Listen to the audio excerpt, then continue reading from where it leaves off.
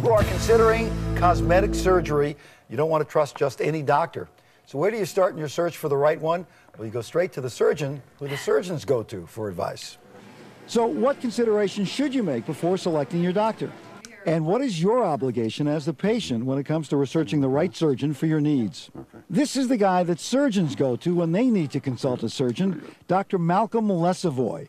And he has some very important common sense advice. If the patient chooses a board certified plastic surgeon who has had good training and they can check his credentials and check his hospital affiliations and check his outpatient surgical facility and check his associates, then I think it is appropriate for that person to take some advice. Dr. Lesavoy also recommends calling the American Society of Plastic Surgery for references. And what about all those doctors who advertise in magazines or newspapers? Advertising in plastic surgery is a, is a difficult ethical and moral problem.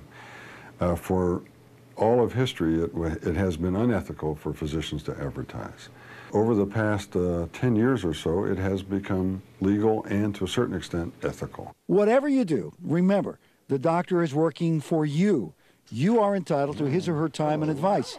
Make sure you don't feel rushed and ask plenty of questions.